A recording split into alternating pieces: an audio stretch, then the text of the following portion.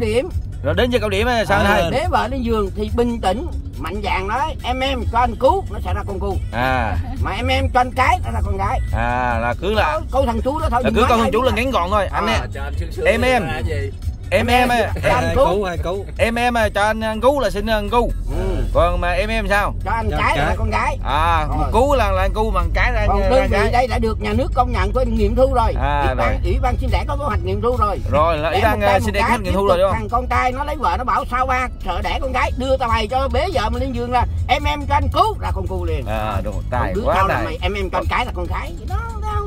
Nói có sách mắt có chứng. Đó.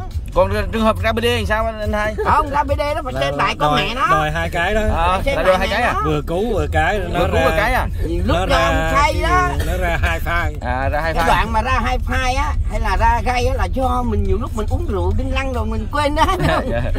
mình say mình mập mờ. Em em cho anh cứu em em cho anh cái. Rồi dứt khoát ra bd rồi